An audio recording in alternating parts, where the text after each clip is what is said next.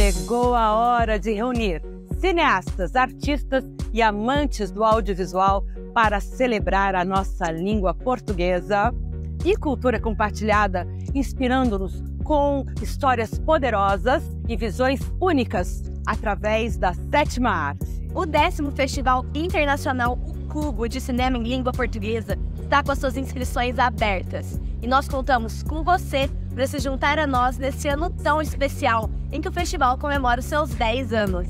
A novidade desse ano é o festival vai contar com a participação e a parceria do Instituto Incluir, representado aqui por mim, Karina Alves, e o nosso foco é acessibilidade dentro de um festival de cinema. É mudar o pensar, como que a gente pode pensar um festival para todas as pessoas, garantindo os direitos humanos, sobretudo os direitos da pessoa com deficiência e sem deixar ninguém para trás.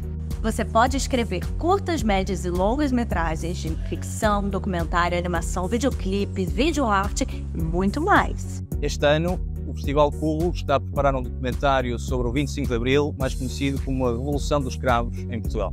O festival acontece online para o mundo e presencial aqui em Lisboa. Mais de 100 mil pessoas já assistiram.